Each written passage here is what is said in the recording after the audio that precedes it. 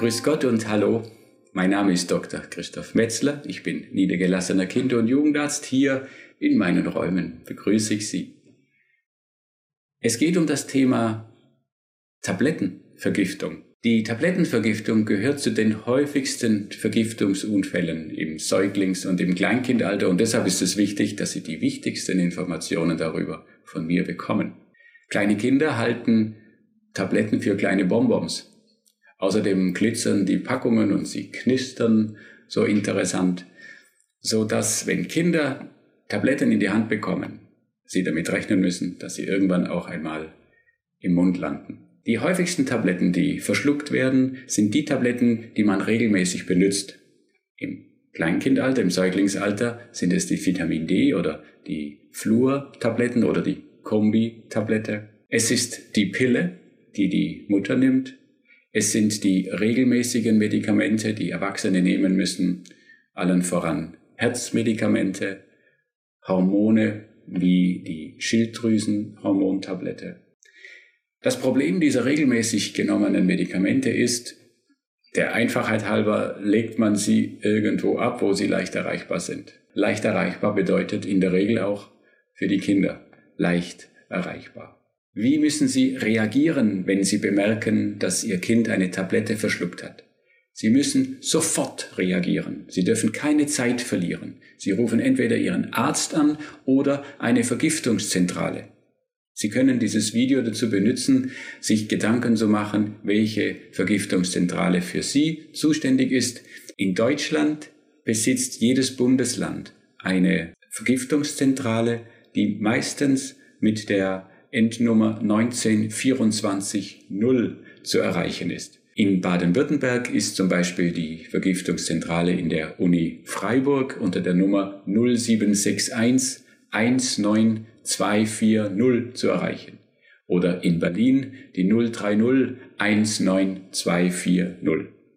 Also, Sie reagieren sofort, Sie rufen an. Wenn Sie anrufen, werden vier Informationen von Ihnen abgefragt. Erstens, was Ihr Kind genommen hat. Entweder Sie nennen den Namen oder den Wirkstoff und auch die Zahl, die dahinter steht. Das ist nämlich meistens eine Dosisangabe. Zweitens, wann es diese Tabletten vermutlich genommen hat. Drittens, wie alt Ihr Kind ist und viertens, wie schwer es ist. Auf diese Weise kann man die Gefährlichkeit einschätzen und ihnen dann sofort sagen, was zu tun ist. Die Therapie ist unterschiedlich, je nachdem, was passieren kann. Oftmals genügt es, auf das Kind aufzupassen. Eine stationäre Überwachung ist manchmal erforderlich. Manchmal muss man den Magen auspumpen. Manchmal muss man ein Gegengift geben. Und manchmal muss man ihnen einfach sagen, mit welchen Reaktionen sie rechnen müssen, dass sie nicht unnötig erschrecken. Auf jeden Fall sollten Sie eine Tabletteningestion, so nennt man das, wenn man Tabletten verschluckt, niemals äh, unterschätzen und immer sofort um Rat fragen. Ein Tipp von mir. Zu Hause sollten Sie prüfen, wo Sie Ihre Medikamente lagern, am besten in einem abschließbaren Medikamentenschrank, auf jeden Fall für Kinder unerreichbar. Zu Hause hat man das relativ gut im Griff. Das Problem ist, wenn man irgendwo zu Besuch ist, insbesondere bei den Großeltern oder bei älteren Menschen. Die Wahrscheinlichkeit, dass diese Menschen regelmäßig Medikamente einnehmen, ist relativ groß. Oft verpacken sie sie in solchen Tages- oder Wochendispensern. Das ist besonders gefährlich. Wenn Sie also da sind, zu Besuch, wäre es sinnvoll, Sie machen erstmal einen kleinen Rundgang, einen sogenannten Kontrollblick und schauen, dass Ihr Kind nicht an Tabletten gelangen kann. Ein kleiner Trost zum Schluss. Meistens passiert nichts Ernsthaftes, vor allem wenn Sie rechtzeitig reagieren.